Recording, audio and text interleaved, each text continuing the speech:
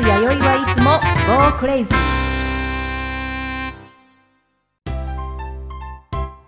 皆様こんにちは。3月弥生はいつも Go Crazy パーソナリティの職業は警備員とカフェスタッフ。たまに着ぐるみ。趣味は書道ポールダンスヒールダンスチアダンス。その他もろもろダンス大好き。謎のパフォーマーの弥生です。この番組は歌が歌いたいという私のわがままからラジオの中でおしゃべりしながら歌を作っていけたらいいなということで始まりました。とはいえ気が多いもので話が進むのかどうなのか皆様どうか温かい目で見守ってくださいませ。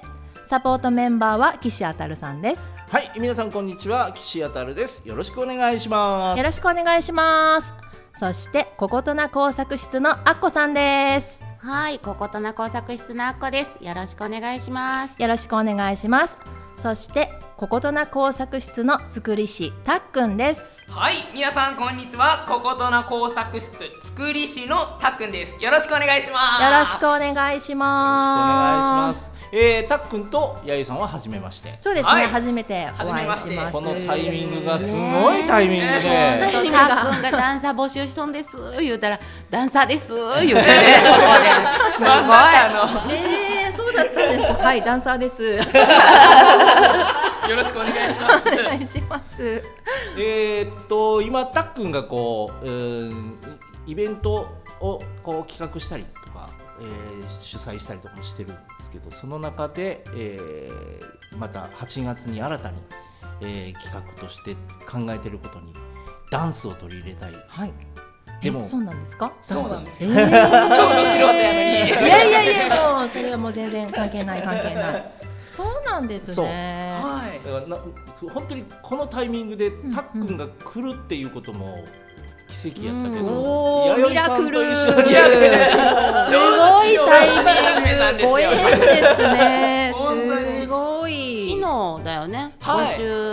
始めたのもで、もうちょっと前に演劇の話をちょっとしてて、演劇も8月から取り入れるんですけど、まあ演劇とダンスを交えた分っていうんでやるんですけど。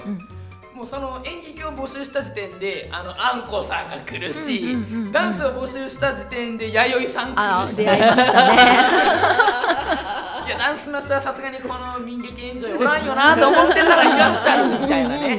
なんかまあ共通してるというかね、あのその演劇のまああんこさんと知り合ったきっかけもあの丸亀市民劇の中でなんですけど、私はあのダンスパートの人間だったので、はい。まあもちろんあの演劇は過去にはしてたことがあったんですけど、あのその作品の中ではあのダンスのあの担当というかでそれで関わらせてもらったっていう、はい、そういうきっかけがありましすごい。て、はい、本当に狭いです本ね。当に狭い。香川が特に狭い。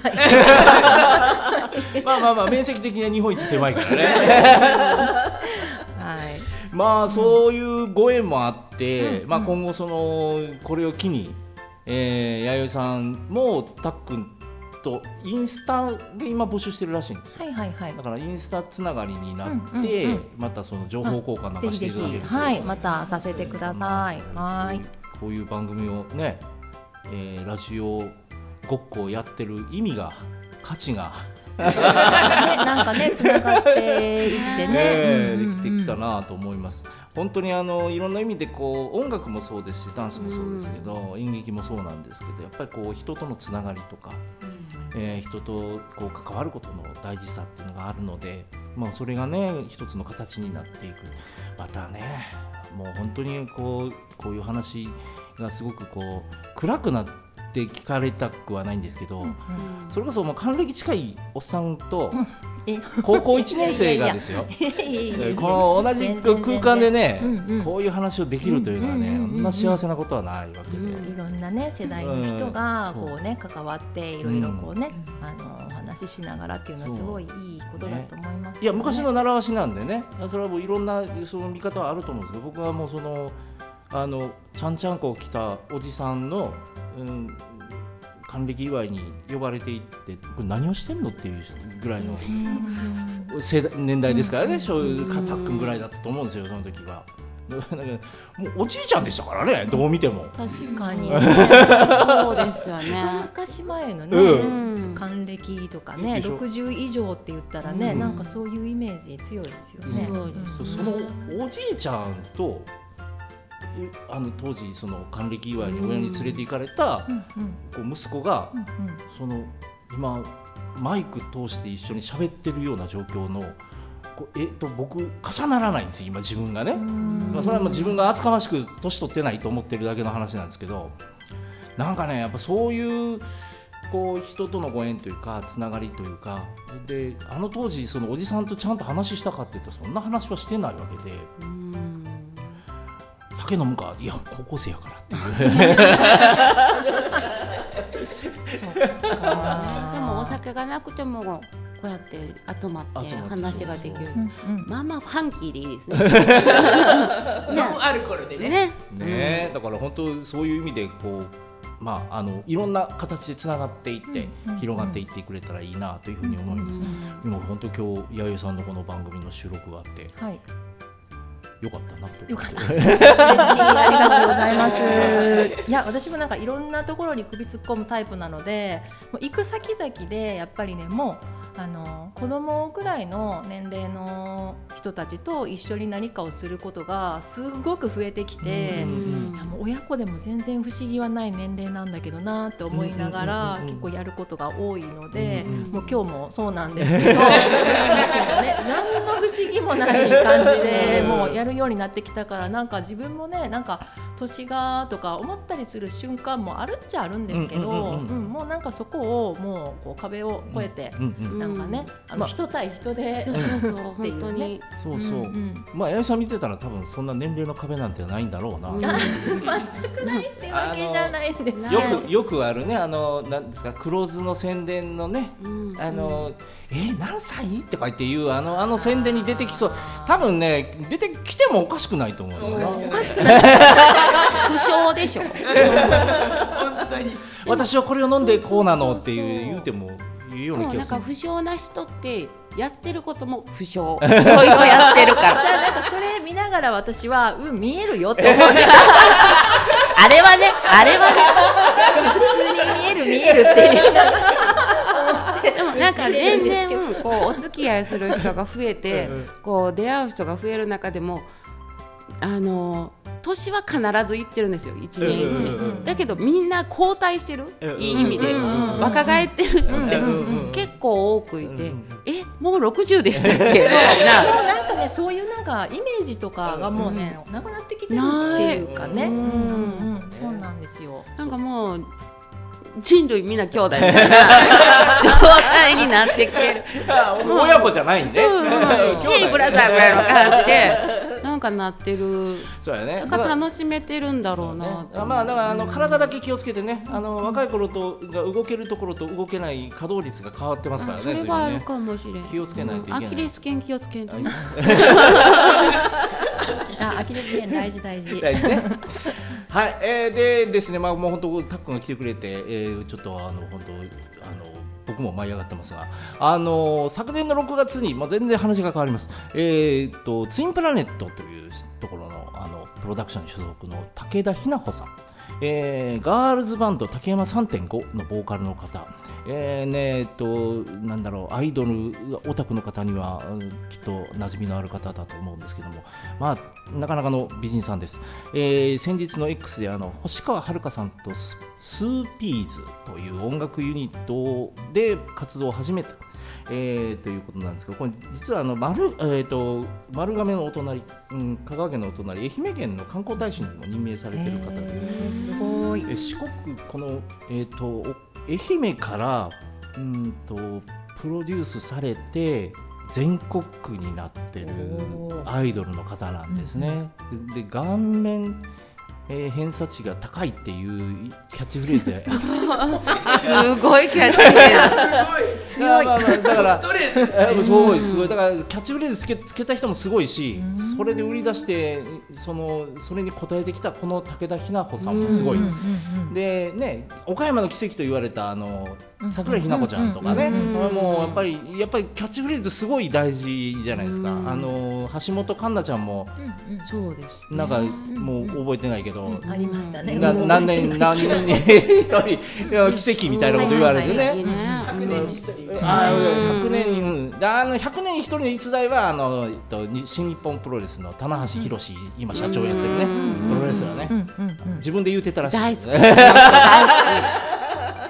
ええとこの大学出てんの好き。ねあの人ね。本当に。すごいあの明るいしね、うんで、えー、とこの、えー武田ひな子さんがね、うんおえー、と愛媛県がテーマの楽曲「ございます」とというのを、えー昨年の6月5日に配信リリースしました。これがねえっ、と、まあ、このすすごいのはこの昨年この楽曲「ございます」を含む全3曲を収録したアルバム、オリジナル EP、うん、4曲収録なんでしょうね、うんうん。えーのお EP を引っ提げて東京大阪名古屋お愛媛。愛媛っていうのはちょっとわからないけど、えーよ愛媛。よ4都市を 都市。都市の巡る全国ツアーを行ったっていうね、うん。やっぱりすごいんですよ。うんうんうんね、でもともとはこのうん木梨さん、あのとんねるずの木梨さん。の発案で所ジョージさんに、えー楽曲提供してもらったということで決まったらしい。うんすごい流れですね。すね、あの所ジョージさん作詞作曲で木梨憲武さんが楽曲コーディネートで何したかわからんけど、うん。楽曲コーディネートも木梨さんの名前があるだけでもすごいし、うんでもう観光スポットや方言など、えー愛媛県の魅力をさまざまな角度から紹介していくというようなあー楽曲になってるらしいので武田ひな子さんらならではの楽曲という、こういうのを作って、えー遊ぶというか、うん。もうと所さんと木梨さんはもう間違いなく遊んでるんですよねこれねよね。あのよくあの聞いたりとか、ちょっとね映像が出てたりするのを見たりしますけど、うん。楽しんでるというかね。でそれが結局こういう形になっていくっていうのがすごく僕はあのー面白いというかもうある意味憧れなんですよね。うん。でこの番組以外にも他の番組でも言ってるんですけどこの木梨さんのラジオうん朝のラジオなんですけど、えー、と土曜朝6時はき木梨の会かな？っていうラジオのもうこれがもう僕ず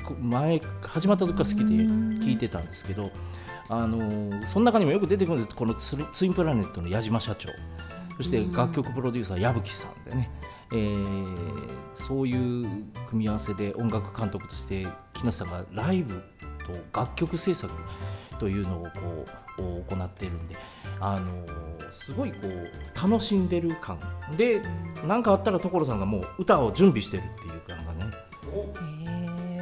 ちゃわちゃしてるのがもう楽しいんだなっていうのがすごいわかる番組ですよね。なんか吉幾三さんがゲストに来るって言って吉さん向けの曲をもうすでに書いて持ってくるという所さん。気合いですね 違うね。いや俺才能やと思うよねもうこういうふうに言ってで聞いたらなるほどっていう。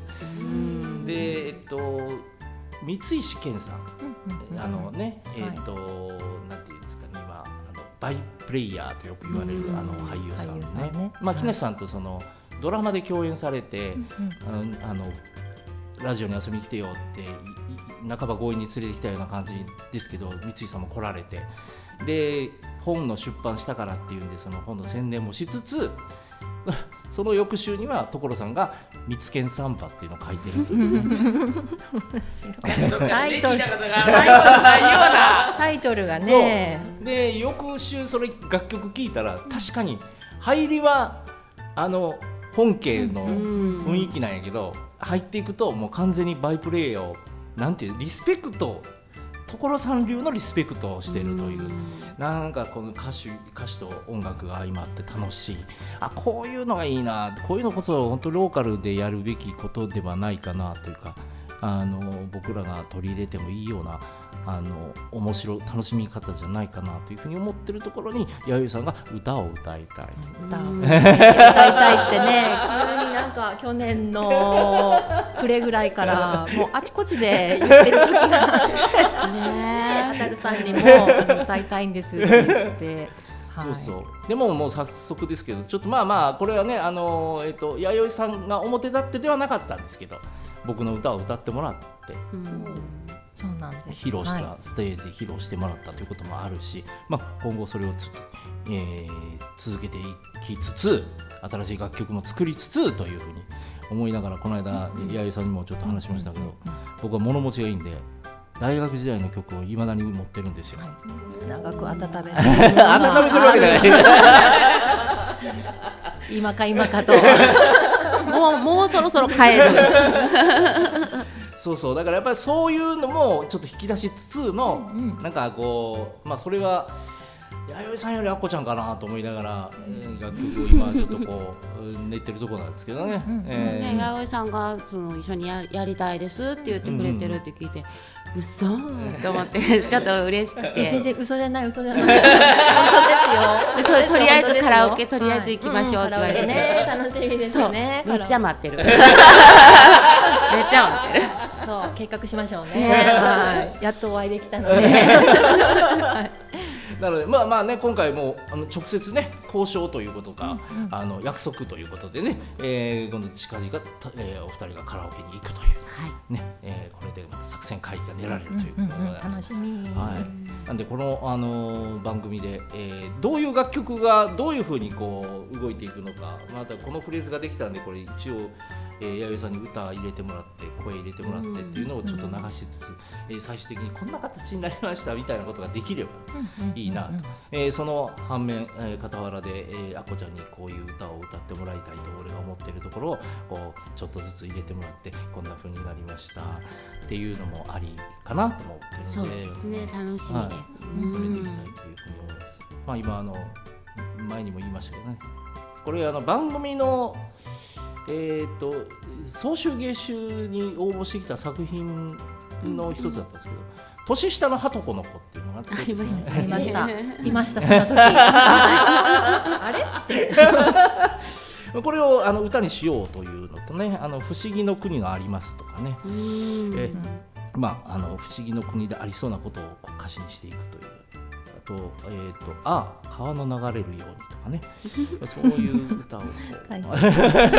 今考えておりまして、まあ、これがあのどういう形で実現していくかというのをねまたあのこの番組でもちょっとずつ、えー入れながら音楽を作っていきたいなというふうに思っております。えー、たっくんはどういう音楽をこうチョイスしたりとかっていうのは？そうですね。結構演劇とかそれこそ水族館でいろいろやらせていただいた時代もその音楽って BGM であったりとか、うん。それこそショーの間の音楽とか、うん。それこそ自分が好きな歌いたい音楽とか、うん。聴きたい音楽とかうん。いろいろあったんですけど、まあその自分が好きな曲というか、まあ、歌う曲が古いんです。お。うまあまあ昭和。そうなんや意外。ロマン飛行とか、おえっと、プリンセスプリンセスのダイヤモンドとか、カンさんの愛は勝つとあーなか、るほど、あと大事マンブラザーズのそれがあ大事とか、はいはいはいはいはい。もうそういう曲が好きなのでなるほど。カラオケ行ってもみんなはこう最近のアニメの音楽であったりとかまあ、夜遊びとかはいう分を歌うんですけど、うん僕だけ急に缶を歌い始めるみたいな。あまあ、それでもねみんなが笑ってくれるというか、うん。みんなも一緒になって歌ってくれるような、まあまあまあそんなね。昭和の歌はそうやね割と昭和平成はね。なるほど。あそういうことか。すごいなんはい。か逆に歌えるんやぞっていうところが なんかねすごいすごいあれなんですよ。か僕最近の曲なんかキーが高いのかなんか知らないですけど歌えないんですよ。でもう「愛は勝つが」うん。もう僕は最近すごい好きでですね。ほど。あの高価な墓石を建てるより 生きてる方が素晴らしいと。もうその言葉に感動しまして、それは大事マンブラザーズのそれが大事やな。そうやね。そうですね。あれ愛は勝つの話してましたっけ？愛が勝った上でいうことやね。なるほどなるほまあでもうん気持ちはよくわかる、うんうん。うん好きな割にね混ざってしまいましたけど、そこはちょっと気にしないでいただいて。ど全然全然全然全然大丈夫。いやでもすごく気持ちはわかる。あの、うん。うん、だからい逆にそういう歌今ある意味そのそういう歌も見直されてるというかまた流行ってきてる状態で昭和の歌がすごくクローズアップされてたりもするんでね。そうですね、うん、でストレートやし分かりやすいしってなんかね僕ぐらいの年になるとその最近の歌肝心なところで英語になるから何？そうですね。確かにそうかもしれない。だからまあそういうのもあるからね。だからやっぱりちょっとその辺のこうまあでもそうたっくんがそういう音楽をチョイスしたいというかそういう使ってしまうとか歌ってしまうというのもあ聞いたらまたじゃあこれあれですね。あの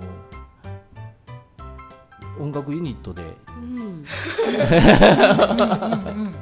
きることができることがあるかもしれないね。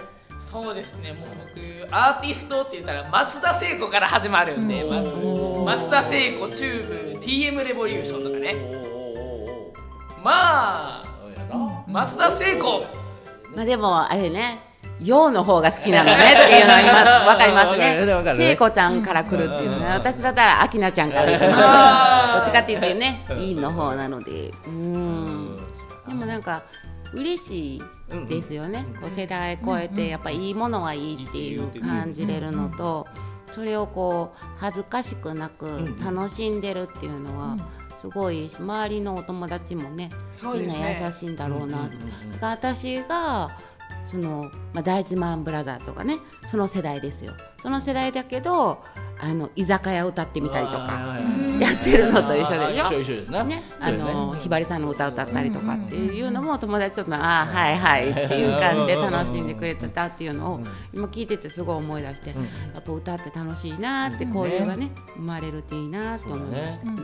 まあ、意外な一面と捉える部分もあるし、うん。やっぱり真のところが分かってくるというか、一面が分かってくるっていうのも分かるから音楽歌はね本当大事ですよね。その人がどういう歌を歌うっていううね、好き嫌いねみんな人それぞれだし流行りが必ずしもいいっていうわけでもないですしねやっぱり。やっぱりそのねあのそれはもうバーンと爆発的に売れるのもいいけどずーっと残ってる歌ってやっぱりいい歌、もうねそういうことを言い出すと最終的に昇華のね、もうふるさとなんていつ歌ってもふるさとじゃん、それは僕ねあれなんですよ。JR の、あのメロディーにもなっている瀬戸の花よ、おはいはいはいはい。もうあれは瀬戸って入ってますからね、そうやな。地元の曲ですよ、うん。もうだんだん畑とお別れ。はいはいはいはい。僕歌わないですけどあれはもう幼稚園の頃から好きおお。ああいう情景が浮かぶでしょそうそうそうそうね絵が浮かぶ歌ってすごいなと思う。うん。でねやっぱ今でも駅のメロディーで使われてるっていうのはやっぱ周りからしても本当にずっといい曲っていうのがやっぱあるからこそだと思うのでなんかね郷土愛というかね、そこが好きだっていうのが感じられるからねすごくいいですよね。そうですよね。だからまあ本当ここれもねあのそういうこう世代を超えていろいろ音楽でつながっていけるように、まあこの番組も進めながら、えーやっていけたらというふうに思います。ありがとうございました。リスナーの皆さんもお聞きくださってありがとうございました。